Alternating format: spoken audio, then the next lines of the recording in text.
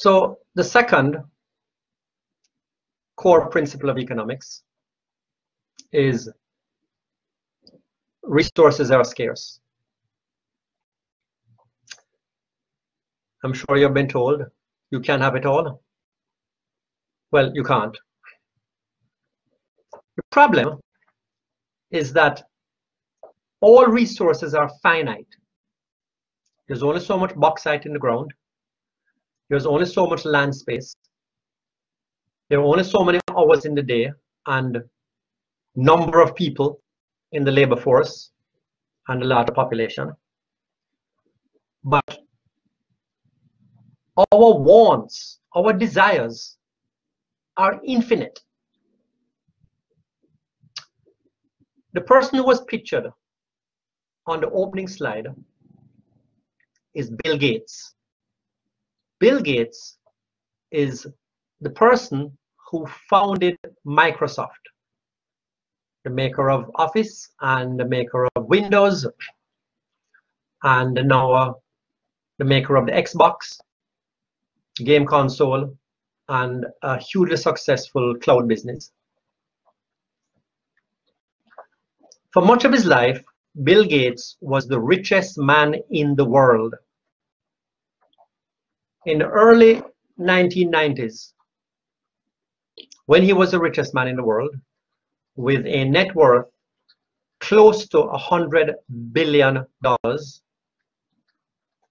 US dollars, he was interviewed by People magazine and he made the statement that not, not his exact words because he's not somebody to boast.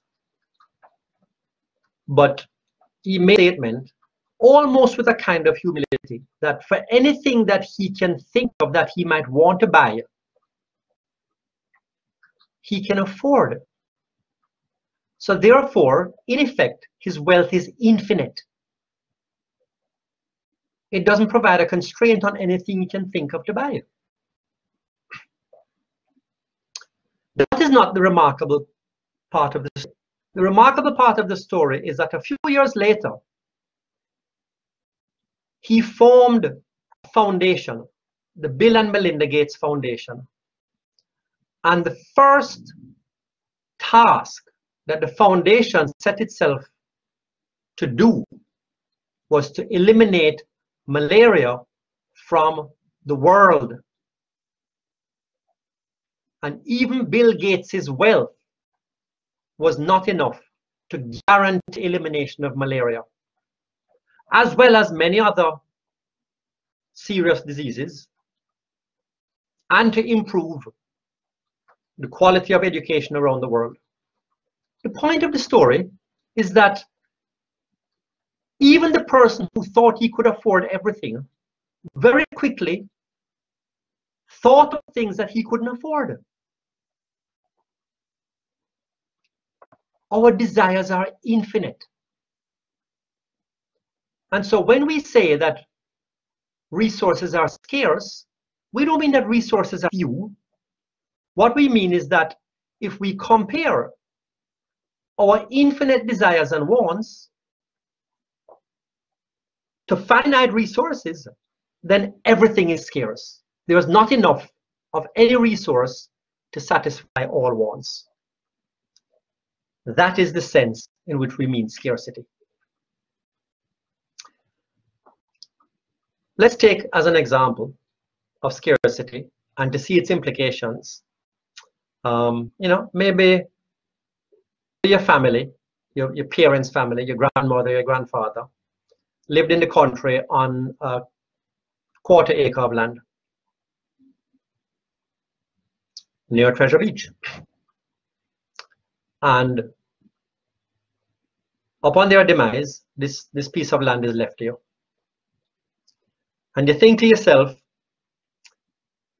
you know, I used to like when I visit the country and I visit grandpa's farm that I always wanted to get back into farming. Although, given that you're going to get a fairly decent job in Kingston when you graduate, would also be nice to have a little country home in near Treasure Beach. But the quarter acre is really too small to do both. So you have to make a choice. The fact of scarcity, the fact that we can't satisfy all our desires with finite resources gives rise to trade-offs. We have to make a choice between our desires. And the fact of trade-offs gives us the concept of opportunity cost.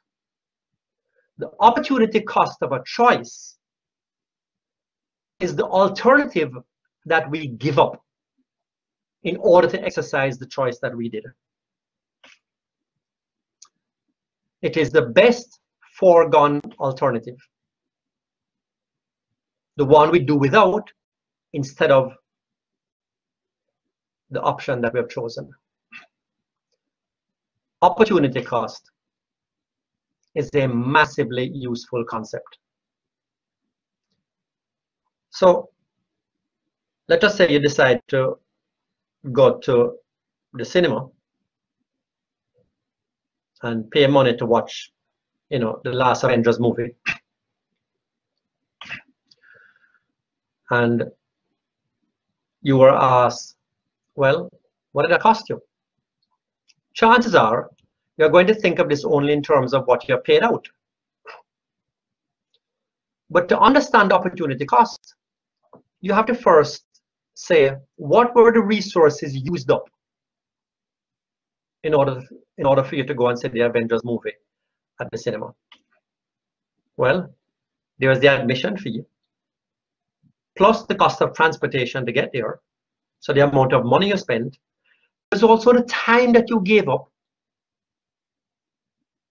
the time in transportation and the time to watch the movie. So a good two and a half hours was used up to watch the movie. Opportunity cost answers the question, what else would you have done with that time and with that money? You know, maybe you stay in your bedroom and you buy some credit and you and your friends have a have a Zoom chat and party. If that's what you would do, then missing out on that is the cost, is the opportunity cost of going to the movie. Let us look at another example.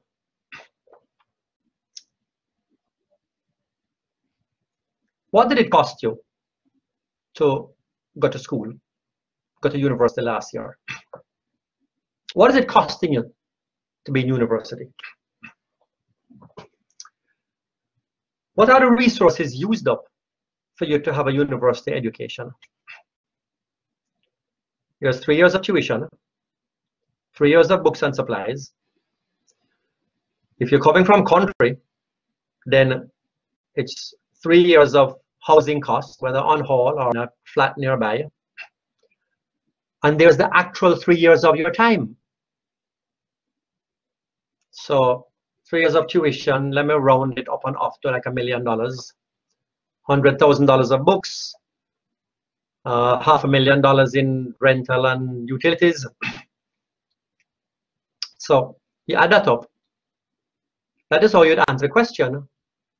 What does or did it cost you to go to university for three years? But if the question is, what is the opportunity cost? you get a different answer. You're going to have the tuition that you didn't, you're going to have the money you didn't spend on tuition. You're going to have the money you didn't spend on books and supplies. But if you're not in university as a full-time student, you're going to get a work. And that work is going to give you a salary. That is part of the opportunity cost, that you are giving up a full-time pay in order to be university. You would still have to pay rent somewhere if you live in the country and a job is in Kingston. So you wouldn't even count the cost of housing. The cost of housing is not a cost of being in university. It's a cost of being. So opportunity cost says, what would you have if you didn't have, if you weren't in university? You would have the million dollars tuition, you would have the hundred thousand books and supplies, and you would have nine hundred thousand dollars of income. And what would you do with that? Well, maybe you'd buy a car. Opportunity cost of your university education that you would have after three years is the car that you would have after three years. So that is what the concept of opportunity cost gets you. And we're going to say it's really important. Economists are fond of this phrase. There's no such thing as a free lunch. When you see something being offered for free, if you sign up, you'll get a free sweater. If you buy credit today, you will get a free phone. That would be nice. But to an economist, it can be free. To an economist, the person who's getting to use it doesn't pay for it, but it uses up resources. It uses up resources that could have produced something else that somebody else would have had. So nothing can be free. Those resources have an alternative use, have an opportunity cost. There is no such thing as a free lunch.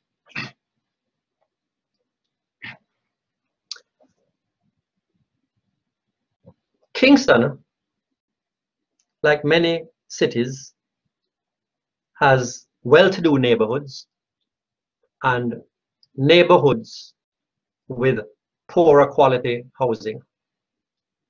And very often these neighborhoods are close to each other. But what you never see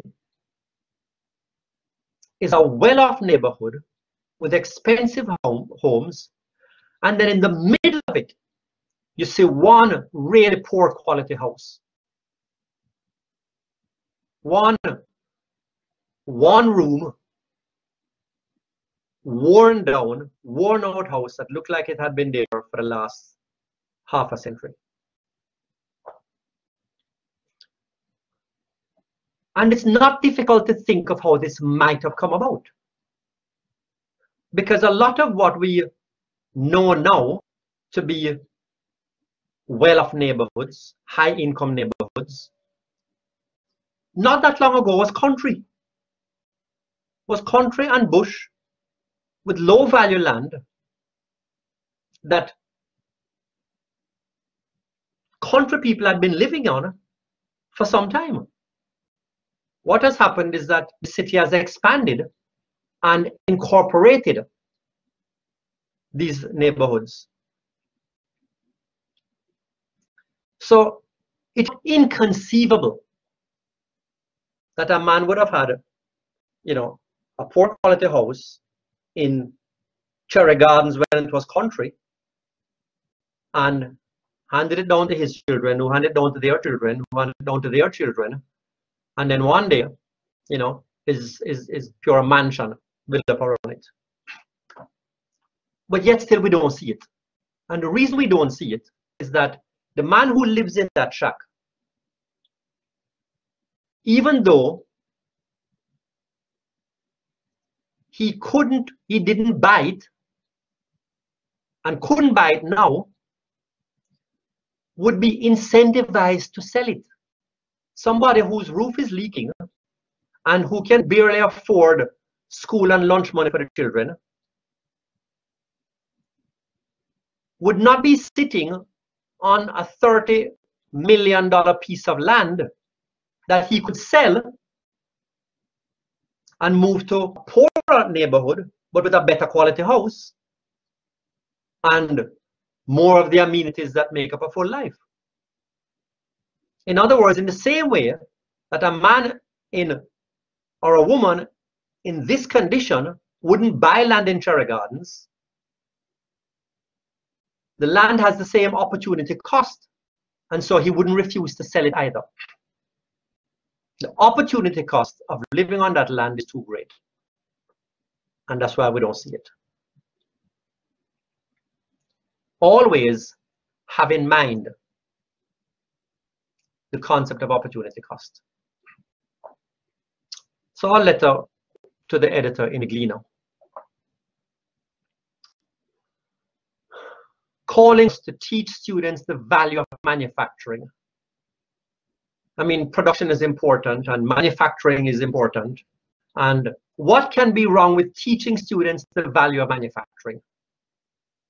Surely this will give a boost to manufacturing in Jamaica. But we have information that of all the students that goes that go into high school each year, each cohort, when you look at the number of those students, when you look at the share of those students that end up passing mathematics and English in fifth form exams after five years, it's pitiful. Students are coming out unable to pass the vast majority are coming out unable to pass mathematics and English, which is the basis of what you need to get a half decent job to do anything. So when an economist sees, let's teach students the value of manufacturing, what looks like a harmless proposal begs the question, the resources that you are going to use to teach the value of manufacturing, is this the best use of it? Shouldn't we use that time in the school day and that teacher to teach maths so that the students are better equipped to function in life? The opportunity cost of teaching the value of manufacturing is worse math and English outcomes. And this, what looks like an innocent suggestion, is now exposed to be a completely ridiculous idea that we should use up educational resources to teach the value of manufacturing.